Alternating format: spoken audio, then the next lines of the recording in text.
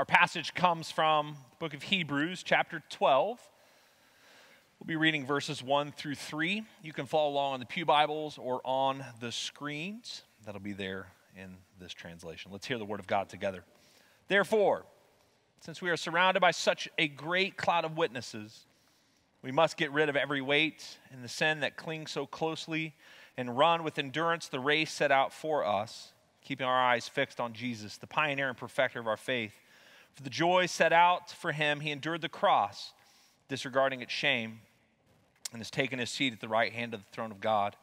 Think of him who endured such opposition against himself by sinners, so that you may not grow weary in your souls and give up. The word of God for the people of God, and the people of God said, Thanks be to God. Amen. You may be seated. We have been doing a really quick series, uh, kind of overview through the book of Hebrews over the last three weeks. And this is our concluding week. Next week, there's going to be a special kind of Thanksgiving message. Amber Hoker, our director of connectional ministry and congregational care, will be preaching. Uh, and then we start Advent. So we're just a few weeks away from the season of anticipation, of expectation for what God wants to do through Advent into Christmas. And so we are grateful for this time in the book of Hebrews. It's a powerful text. We've been unpacking it each week as we've gathered together, recognizing that this is a text that was written to probably a Jewish Christian community in the first century sometime. They were undergoing some difficult challenges, some persecution, and all of these things were creating all of these default modes of, uh, of behavior where this Christian community was going back to some of their Jewish practices, taking the law and making the law a higher and more important reality than Jesus himself, looking at Moses as a prophet that is a greater than Jesus. And so the author of Hebrews is, is really debating and, and helping them shift their perspective by seeing that Jesus is greater than literally everything. Jesus is greater than the law. Jesus is greater than Moses. Jesus is the greatest high priest. He's the greater sacrifice. And in Jesus is the greater covenant in the new covenant. And we get to this chapter 12, probably the most famous or well known verse of the entire book of Hebrews. Therefore, since we are surrounded by such a great cloud of witness, let us lay aside every weight and sin which clings so closely, and let us run with endurance the race set before us, looking to Jesus the founder, the author, the pioneer, and perfecter of our faith. This passage starts with the word therefore. And as much as it feels cheesy, anytime you come across the word therefore in the Bible, you should go back and say, What's the therefore there for? And so, if you go back just one chapter into chapter 11, there's this whole conversation that the author of Hebrews is having with this early church and he's telling them, or they're telling them, these 16 different characters from the Old Testament. He's talking about their faithfulness. And, and the, the, the, specific premise of almost every single one of these stories of these Old Testament characters is that these men and women had faith, even though they didn't get to see Jesus the way that we have seen Jesus. These men and women stood in the midst of incredible challenges Yet they only knew in part what we know almost in full. You see, what we believe is that through Jesus Christ, we have this image of who God the Father is. His heart for us, that in Jesus, the kingdom of heaven has been inaugurated, and we have this new king that leads our world and our way of being. And, and yet, at the same time, we recognize we live in a world that doesn't always look like the kingdom of heaven that we live in a place where Jesus doesn't always seem to be king when they turn on the night news or any other things. But the truth that we believe as followers of Jesus is that our entire lives are towards the kingdom of heaven, which is coexisting at this point with all of the other kingdoms. But there will be a day when the kingdom of heaven will fully take over the earth. And on that day, Jesus will sit upon the throne and until then, we have to live in the now and not yet of the kingdom of heaven. And so the author of Hebrews in chapter 12 says, Look at all of these people Abraham and David and Samuel and all of these characters that you know from all of the stories you might have learned in kids' ministry. And he's saying they stood by in faithfulness, even without Jesus. And then he says, He looks at you, and he looks at me, and he looks at this early church, And he says, I know that this is a hard season for you.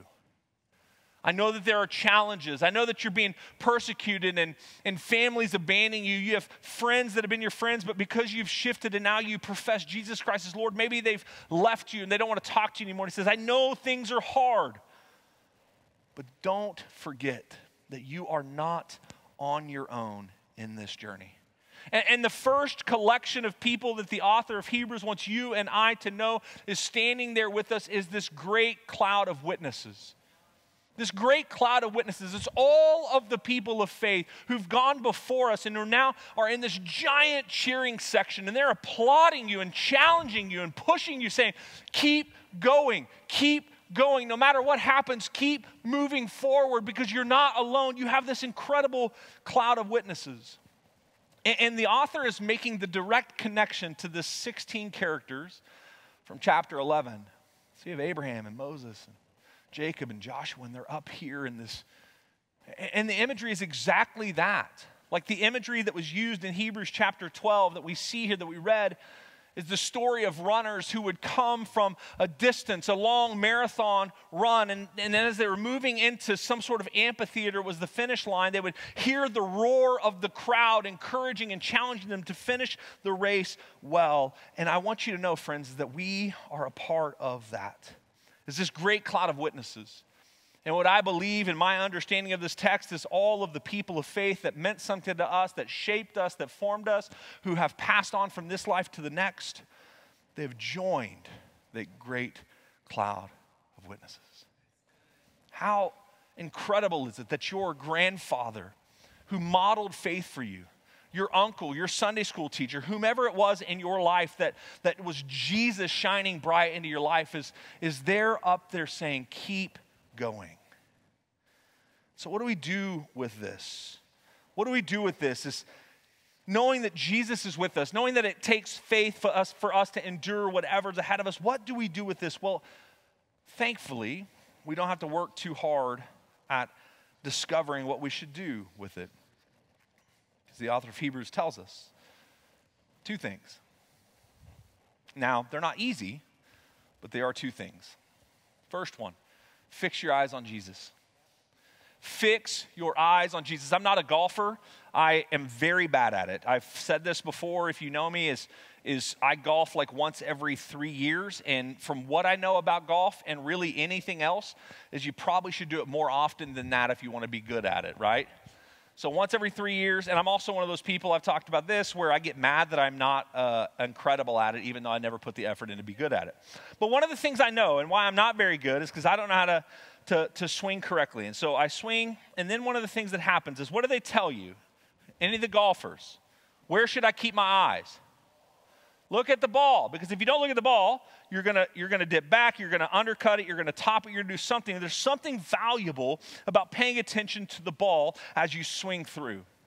Same thing at a gym. I, I, go to a gym a few times a week, and one of the things that we do is like squats and kettlebell, kettlebell carries and all these different things. And, and every time we lift, we're being reminded that we must keep our eyes up and keep our eyes forward because as soon as you start to dip down in what you're looking at, your body's going to get out of whack. You're, you're not going to be in the position you are to have the most strength from the feet all the way through your core and your body. Because there's something important, friends, about where we look that shapes who we are and who we are becoming. It's the same thing about shooting a basketball. We live in this era of basketball that was so shaped by Stephen Curry that every single kid that's trying to learn how to play basketball, they try to play like Steph. Y'all know what I'm talking about? Anybody had any kids that went through and they're like backward dribbling and shooting shots, and you're just like, what are you? You're not even playing basketball, right? They're not looking at the basket and then we're surprised that maybe they never make a shot. Well, the reason is because they're not looking at where they're shooting. Because where we look shapes where we go. And so, friends, I can't implore you enough as you need to fix your eyes on Jesus. Fix your eyes towards Jesus. One of the things that I discovered in one of my morning times reading through some Psalms is this imagery that Tim Tennent, who's the president of Asbury Seminary, talked about. He says, We must develop holy memories. we must develop holy memories because if we can be honest, sometimes there are moments in our life where we're trying to look forward. There are moments in our lives where we're trying to fix our eyes on Jesus, but it's a little foggy outside the, the front window. There are moments where we're trying to fix our eyes on Jesus, but we just can't see much further than just a few feet ahead of us. And this idea of holy memories is one of the ways I hope that we can refix our eyes on Jesus. Because what a holy memory is, is our ability to go back into our history and say, Jesus Christ, 10 years ago, you showed up in this specific way. 25 years ago at camp uh, in Searcy, Arkansas, Jesus changed my life. And so I can recall this holy memory in my own heart and say, Jesus, you took care of me then. I'm going to trust that you're going to take care of me in the future. Even though I can't see, my holy memory tells me that you are in charge. Even if I don't see you right now, I trust in you. And that's the whole heart of this great cloud of witnesses is many of them didn't get to see the full picture, but they knew they were going to keep going forward because God said he had it. And the last thing I want you to hear from this passage is that it's time for us to get lighter so we can run further. To get lighter so we can run further. This is a really weird image, but anytime I think about what it means to lay aside every weight and sin which clings so closely, I go to this image from Friends. So I know Friends is probably not a thing that we can talk about in church, but if, if you know, you know, right? So in this moment, what you have is Joey and his roommate, Chandler, rest in peace, Matthew Perry. Uh, they are going through a conflict, and it's about clothes. And so Joey, this character right here, he goes and he gets every single piece of clothes that his roommate owns and he puts them all on at one time. And then he says, Could I, hey, I'm Chandler. Could I be wearing any more clothes? If you're familiar with that. Okay, nobody's a Friends fanatic. Good to know. Just trying to learn my audience, friends. It's only been 12 years. Uh, but I think about that image, and I actually thought about like, could I even on my own like come out here like a robe on and then take the robe off and have another? And I was just like, I would be sweating to death, and you would all see me over here and be like, dude, that dude has put on some LBs. Like, I get it, I'm trying, friends. But you know what I'm saying? Like, but that's, it's a ridiculous image, and it made us laugh when it came on. But yet, if we can be real, that's how we live our lives with layer upon layer upon layer upon layer of all of these things that we hold on to, all of these things that weigh us down, all of these sins that we have not taken seriously enough to begin to cut out or kit out of our lives. And, and we live our entire lives weighted down by things that we must get rid of if we want to run the race with endurance. And so, friends, I can't encourage you enough today. Maybe it's a sin in your life. And I know we, we live in this era of the church where sin, as soon as you mention sin, people get uncomfortable because we don't actually like to acknowledge that we have broken parts. We don't like to actually acknowledge that there are things that we do intentionally that, that stand in opposition or rebellion of who God has called us to be. But if you want to remove sin from the scripture, friends, you might as well not even have a Savior who came to die so that we could have freedom from that sin. So there are sins in your life things you look at, things you do, things you consume, things you don't do. Those things must go away.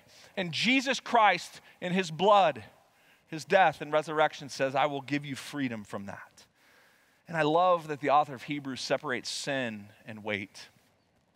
Because the truth in this room is there's also many of you today who have been told about sin ad nauseum. And what you're actually carrying is not like sin, but it's hurt. It's a weight of some moment you had in church 10 years ago and somebody said something or was insensitive or non caring or not loving, and, and you bring that weight in here. And for some of you, it's a weight of a broken relationship that's outside of your relationship with God. It's a friend that has hurt you, it's a family member that's struggling, and, and you're carrying that weight, and you're like, God, I don't know, I, I, just I can't get past this. I can't think of anything different. I'm weighed down by this. It could be a loss that you've experienced, it could be something that's just constantly bothering you, and it's just, you can't, no matter what, you can't shake it. It's always there, speaking its lies over your heart, trying to tell you that you can't move forward with this thing around your neck. But the truth is, is God says, Come to me, all of you who are weary and burdened, I will give you rest.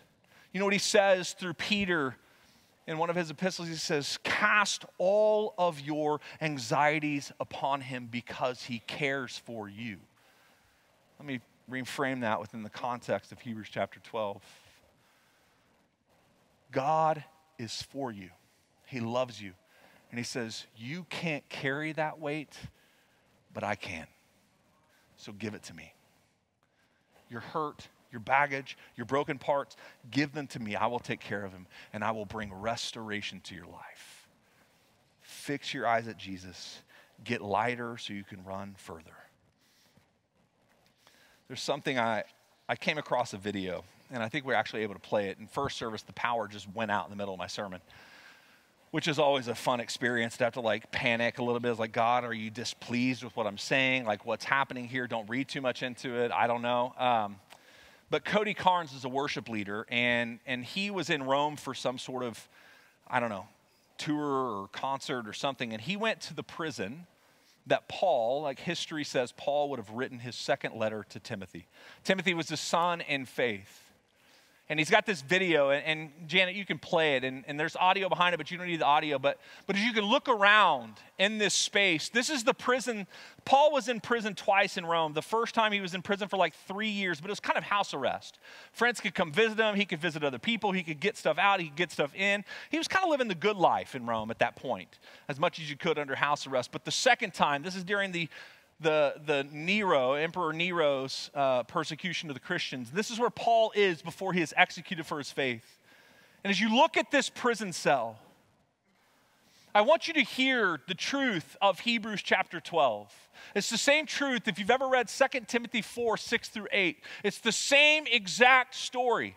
Paul, the author of Hebrews, a whole collection of house churches that are together and scared for their lives. And each one of those messages, not single time does Paul say, you should go hide and you should go avoid difficulty and confrontation. No, what he says, he says, I have run the race. I have finished this.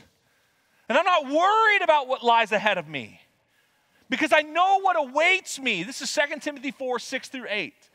Paul in a prison cell that he can't see anything but a few cracks where there's some bars where he could maybe see some people or hand a letter out so he can get to his, his son in the faith, Timothy. He's, he's sitting in this moment. He says, I will endure all of this because I know that there's a crown of righteousness that awaits me on the other side. The author of Hebrews who would have been deeply connected to Paul. Because at the very end in chapter 13, he says, My brother Timothy, it's somebody connected to Paul who would have been in a very similar spirit, a very similar heart, would have at least carried his yoke if it wasn't Paul himself. In that moment, he says, I know things are hard. I know you might be in a prison cell. I know you might have lost this or that or been in some sort of chaotic or challenging and difficult place. But you are surrounded by a great cloud of witnesses. And they are cheering you on. And so get up, get rid of the weight and the sin, fix your eyes on Jesus, and keep going. And, and, there's a faith, there's a, there's a holiness, there's a goodness to this whenever we take this and make this the reality of our lives where we're not dependent on the situation ahead of us, but we're dependent on where our eyes are fixed. And if you can live that way, friends, life doesn't get easy. It's not like you live that way and then you're going to go outside and your cars are all going to be 10 years newer and you're going to have a bigger house when you get home and things are going to be awesome. Like it may actually get worse. But if you fix your eyes, you can finish this race the way Jesus has called you to. And it's a, it's a finish, it's a, it's a completion where you yourselves will also receive a crown, a crown of righteousness when you stand face to face with Jesus. So run well, get lighter, run further, and fix your eyes on Jesus.